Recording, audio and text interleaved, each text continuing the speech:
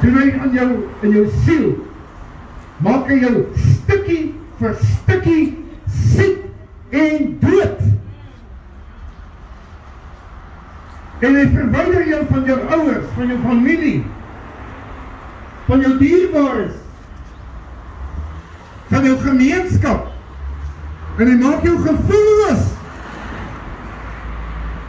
Maar hierdie belaatse man het gehoor van Jesus. Julle staan vandag hier want julle het gehoor. Die evangelie word hier uitgedeel.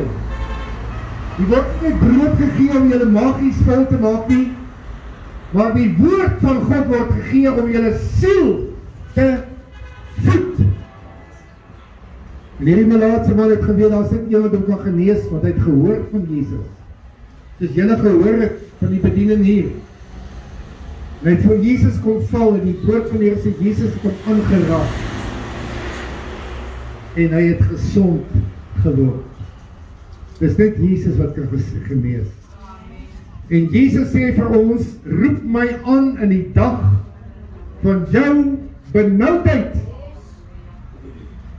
Dan sal ek jou uithelp en jy moet my eer, jy moet my dien.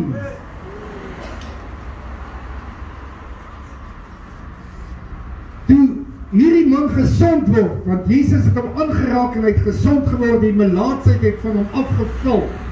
Soos blare van 'n boom afval, soos dooie blare van 'n boom afval. En die melaatsheid van hom afgeval en hy was gesond.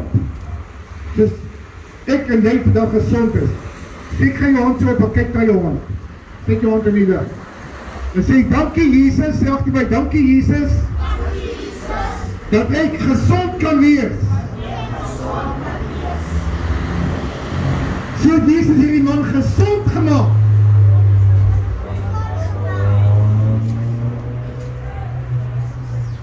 En toe het die boodskap uitgegaan, want as Jesus in jou lewe iets doen, dan weet ander mense daarvan. Hulle sien dit, hulle hoor dit. Amen. Hulle lees ons in Lukas 11 van 10 melaatses wat gehoor het van die een van Matteus wat gesond geword het. En toe sien hulle Jesus op die distansie kom en hulle roep al 10 uit. Jesus! Nou wil ek julle moet net vandag ook saam met my uitroep. Jesus! Jesus! Wees ons genadig. Sê vir mamma hulle met die ambulans gou bel vir die ouetjie. Hoe is dit daar by? Jesus! Jesus! Wees ons genadig. Wees ons genadig. En hierdie keer het Jesus nie aan hulle geraak nie, maar hy het sy woord gespreek. En hy het gesê: "Gaan vertoon julle aan die priester." Nou hulle mag nie in die dorp ingegaan het as hulle belaat was nie. Maar terwyl hulle na die priester toe stap, op die bevel van Jesus, het hulle gesond geword, moeder. As ons doen wat Jesus sê, sal hy doen wat hy vir ons beloof. En toe hulle gaan, het hulle gesond geword en hulle was so bly. Hulle het gehuppel, hulle het gespring. Hulle het gejubel. Hulle het gesê, "Dankie Jesus." Dis net Jesus wat siekes kan gesond maak. Dis net Jesus wat jou sonde kan wegneem.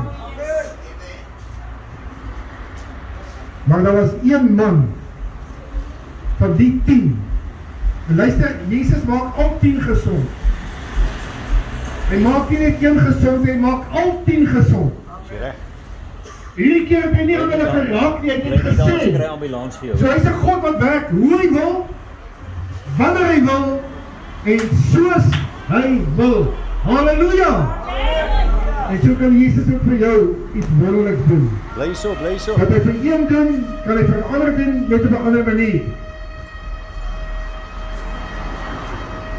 En daar die een man het omgedraai en het teruggekom na Jesus. En het voor Jesus kom val en hom gesê, baie dankie.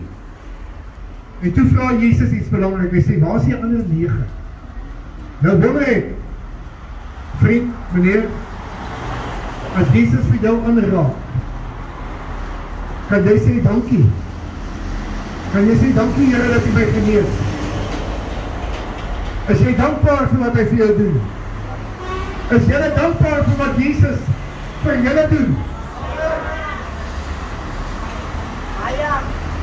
En toe sê Jesus vir hom, toe ek jou genees het deur my woord het ek jou heel gemaak. Wie van julle het al 'n been of 'n arm gehad wat gebreek was? Steek gou die hand op. Wat was gebreek, moeder? Jou skedel. Kop breek. Ina. Wie het al 'n arm of 'n been gehad wat gebreek was? Ek meneer.